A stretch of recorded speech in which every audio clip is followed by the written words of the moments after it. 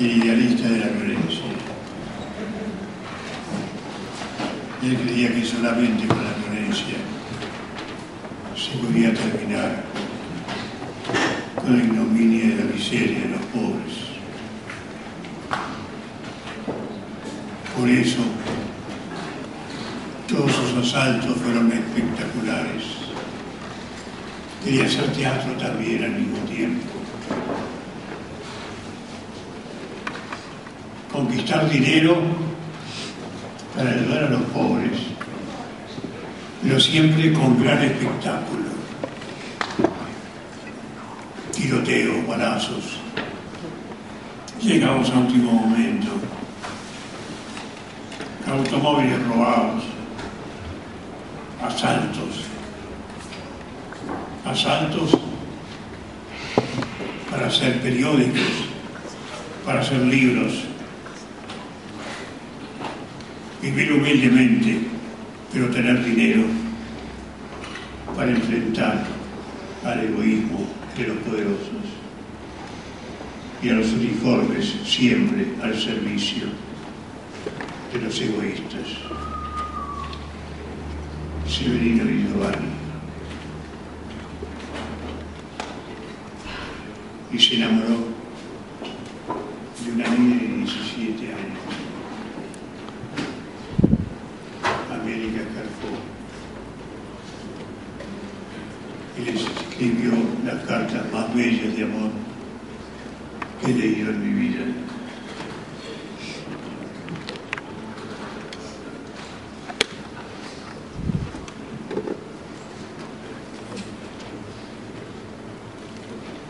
domingo 19 de agosto de 1928.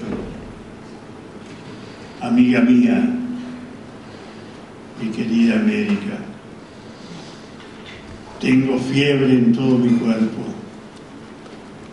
Tu contacto me ha atestado de todas las dulzuras. Jamás, como en estos larguísimos días, he ido bebiendo a sorbos los elixires de la vida.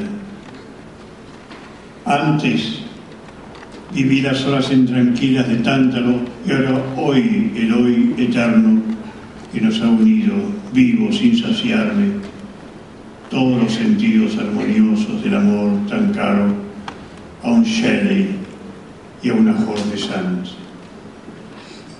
Te dije en aquel abrazo expansivo con el cuánto te amaba y ahora quiero decirte cuánto te amaré. Porque el pan de la mente que sabe materializar todas las idealidades elegidas de la existencia humana nos, será a nosotros la guía más experta para resolver nuestros problemas. Y debo decirte con toda la sinceridad de un amigo, de un amante y de un compañero, que nuestra unión será bella y prolongada gozosa y plena de todos los sentimientos, grande e infinitamente eterna. Y cuando te hablo de eternidad, todo aquello que el corazón ha querido, gozado y amado es eterno, quiero eludir a la eternidad del amor. El amor jamás muere. El amor que ha germinado lejos del vicio y del prejuicio puro en su pureza no se puede contaminar y lo incontaminado pertenece a la eternidad.